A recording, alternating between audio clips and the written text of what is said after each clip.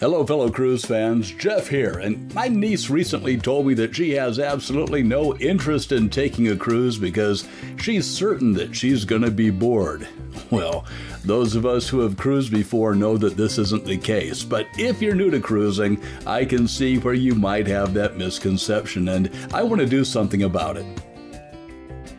I think that one of the great things about cruising is that you can tailor your cruise to fit your lifestyle. If you want to read books by the pool, you can do that.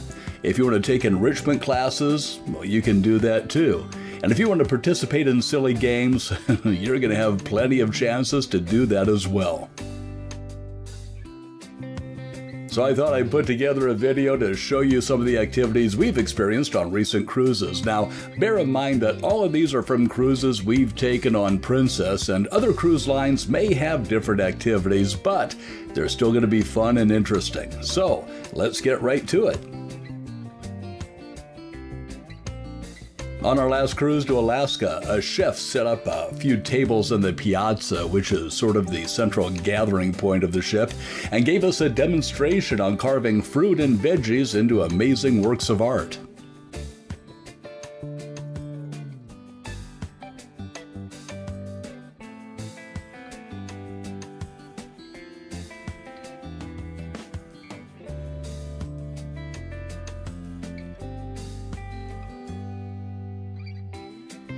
Later on, there was carving of a different kind when they rolled out a huge log and started working on carving a totem pole.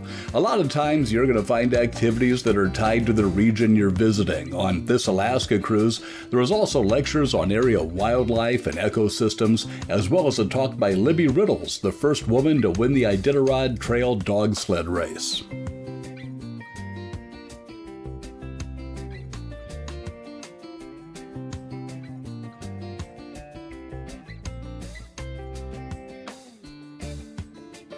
If you enjoy art, you're going to have fun taking a walk through the onboard art gallery. Some galleries are larger than others, and we were surprised that the art gallery on the Enchanted Princess was smaller than most of the other Princess ships we've sailed on.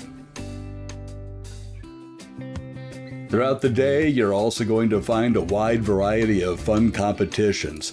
A lot of times, the games pit the passengers against the crew. Giant Jenga is a game that we've seen on several Princess cruises. On our last cruise, we also witnessed a game which reminded me of beer pong.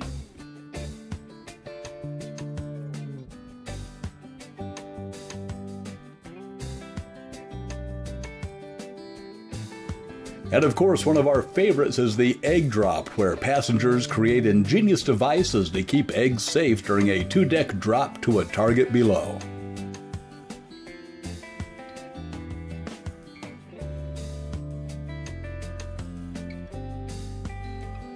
Other competitions include trivia contests on a variety of topics, a singing competition, and one of my favorites, the Yes No Game Show, where you get to see if you can last three minutes without answering yes or no to questions provided by the host. you think it's easy? Well, I failed miserably when I tried. While we look at some of the other fun stuff you can expect to see during your cruise, I'd like to thank you for being a subscriber to the Backroads Tourist channel. I appreciate it more than you know.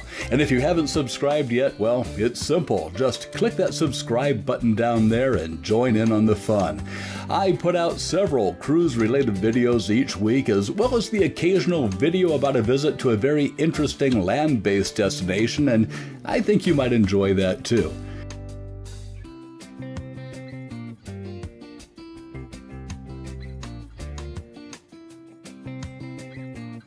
The main theater has a variety of shows at night throughout the cruise, everything from music to magic to comedy to incredible production shows. But during the day, you might also find lectures and seminars on ports you're going to be visiting or cooking demonstrations, behind the scenes of how the ship operates, and much more.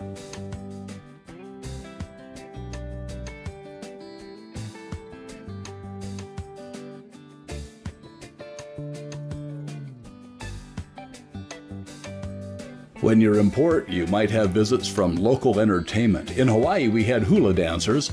In Alaska, we had a visit from sled dog puppies, and in the Caribbean, we were treated to exotic birds. Of course, don't forget that if you're a reader, your ship will probably have a library. There's usually live music going on somewhere on the ship, and if you like to tempt fate, well, there's always a variety of games in the casino. Or if you just want to lounge around the pool all day, yeah, you can do that too.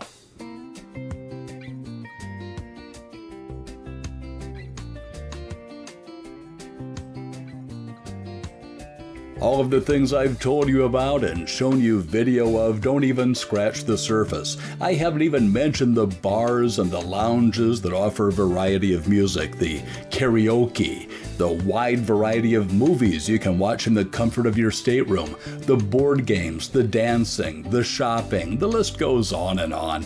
I honestly think that the only way that you're going to be bored on a cruise is if you want to be bored.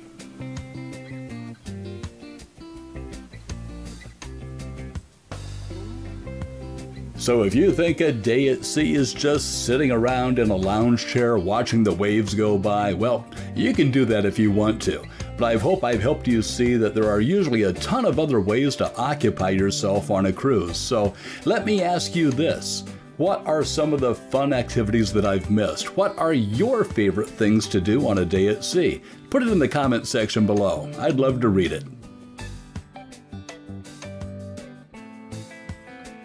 And thanks again for watching today. I'm Jeff, and I really hope I get to meet you on a future cruise.